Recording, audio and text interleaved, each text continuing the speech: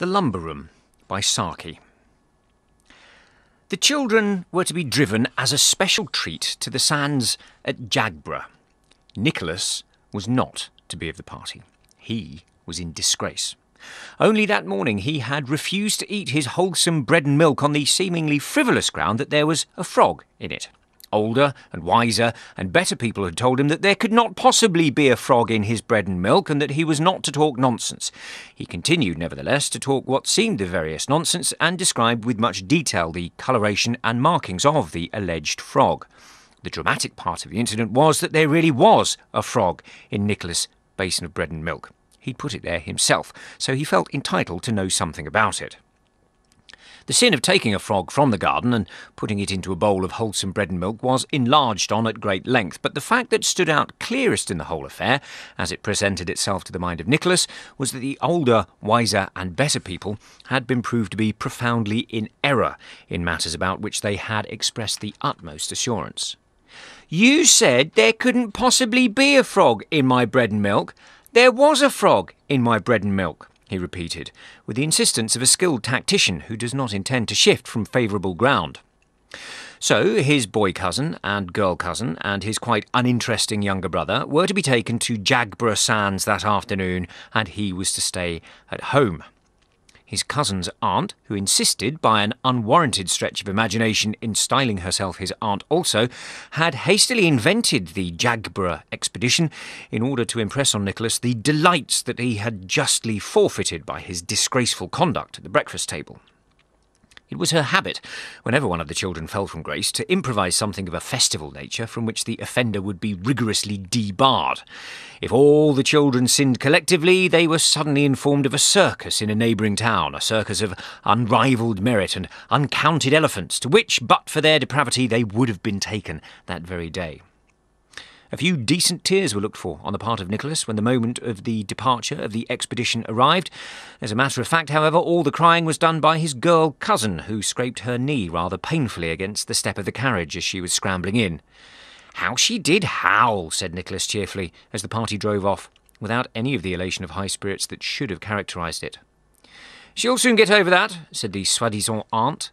It'll be a glorious afternoon for racing about on those beautiful sands. How they will enjoy themselves! Bobby won't enjoy himself very much, and he won't race much either, said Nicholas. His boots are hurting. They're too tight. Well, why didn't he tell me they were hurting? said the aunt with some asperity. He told you twice, but you weren't listening. You often don't listen when we tell you important things. You are not to go into the gooseberry garden, said the aunt, changing the subject. Why not? demanded Nicholas. Because you are in disgrace, said the aunt loftily. Nicholas did not admit the flawlessness of the reasoning. He felt perfectly capable of being in disgrace and in a gooseberry garden at the same moment. His face took on an expression of considerable obstinacy. It was clear to his aunt that he was determined to get into the gooseberry garden only, as she remarked to herself, because I have told him he is not to. Now, the gooseberry garden had two doors by which it might be entered and once a small person like Nicholas could slip in there, he could effectually disappear from view amid the masking growth of artichokes and raspberry canes and fruit bushes. The aunt had many other things to do that afternoon, but she spent an hour or two in trivial gardening operations among flower beds and shrubberies, whence she could keep a watchful eye on the two doors that led to the forbidden paradise. She was a woman of few ideas, with immense powers of concentration. Nicholas made one or two sorties into the front garden, wriggling his way with obvious stealth of purpose towards one or other of the doors, but never able for a moment to evade the aunt's watchful eye. As a matter of fact, he had no intention of trying to get into the gooseberry garden, but it was extremely convenient for him that his aunt should believe that he had. It was a belief that would keep her on self imposed sentry duty for the greater part of the afternoon. Having thoroughly confirmed and fortified her suspicions, Nicholas slipped back into the house and rapidly put into execution a plan of action that had long germinated in his brain. By standing on a chair in the library, one could reach a shelf on which reposed a fat, important looking key. This key was as important as it looked. It was the instrument which kept the mysteries of the lumber room secure from unauthorized intrusion, which opened a way only for aunts and such like privileged persons. Nicholas had not had much experience of the art of fitting keys into keyholes and turning locks, but for some days past he had been practising with the key of the schoolroom door. He didn't believe in trusting too much to luck and accident. Well, the key turned stiffly in the lock, but it turned. The door opened, and Nicholas was in an unknown land, compared with which the gooseberry garden was a stale delight, a mere material pleasure. Often and often Nicholas had pictured to himself what the lumber room might be like, that region that was so carefully sealed from youthful eyes, and concerning which no questions were ever answered. It came up to his expectations. In the first place, it was large and dimly lit, one high window opening onto the forbidden garden being its only source of illumination. In the second place, it was a storehouse of unimagined treasures. The aunt, by assertion, was one of those people who think that things spoil by use and consign them to dust and damp by way of preserving them. Such parts of the house as Nicholas knew best were rather bare and cheerless, but here there were wonderful things for the eye to feast on. First and foremost, there was a piece of framed tapestry that was evidently meant to be a fire screen. Well, to Nicholas, it was a living, breathing story. He sat down on a roll of Indian hangings, glowing in wonderful colours beneath a layer of dust, and took in all the details of the tapestry picture. A man, dressed in the hunting costume of some remote period, had just transfixed a stag with an arrow. Couldn't have been a difficult shot because the stag was only one or two paces away from him, in the thickly growing vegetation that the picture suggested, it wouldn't have been difficult to creep up to a feeding stag, and the two spotted dogs that were springing forward to join in the chase had evidently been trained to keep to heel till the arrow was discharged. That part of the picture was simple, if interesting. But did the huntsman see what Nicholas saw? That four galloping wolves were coming in his direction through the wood. There might be more than four of them hidden behind the trees, and in any case would the man and his dogs be able to cope with four wolves if they made an attack? The man had only two arrows left in his quiver, and he might miss with one or both of them. All one knew about his skill in shooting was that he could hit a large stag at ridiculously short range.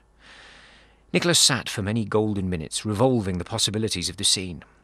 He was inclined to think that there were more than four wolves, and that the man and his dogs were in a tight corner. But there were other objects of delight and interest claiming his instant attention. There were quaint, twisted candlesticks in the shape of snakes, and a teapot fashioned like a china duck, out of whose open beak the tea was supposed to come. How dull and shapeless the nursery teapot seemed in comparison. And there was a carved sandalwood box, packed tight with aromatic cotton wool, and between the layers of cotton wool were little brass figures, hump-necked bulls and peacocks, goblins, delightful to see and to handle. Less promising in appearance was a large square book with plain black covers. Nicholas peeped into it, and behold, it was full of coloured pictures of birds, and such birds! In the garden and in the lane when he went for a walk, Nicholas came across a few birds, of which the largest was an occasional magpie or wood pigeon. Here were herons and bustards, kites, toucans, tiger bitterns, brush turkeys, ibises, golden pheasants, a whole portrait gallery of undreamed of creatures. And as he was admiring the colouring of the mandarin duck and assigning a life history to it, the voice of his aunt, in shrill vociferation of his name, came from the gooseberry garden without. She had grown suspicious at his long disappearance, and had leapt to the conclusion that he'd climbed over the wall behind the sheltering screen of the lilac bushes, and she was now engaged in energetic and a rather hopeless search for him among the artichokes and raspberry canes. Nicholas! Nicholas! You are to come out of this at once. It's no use trying to hide there. I can see you all the time. It was probably the first time in twenty years that anyone had smiled in that lumber room. Presently the angry repetitions of Nicholas' name gave way to a shriek, and a cry for somebody to come quickly.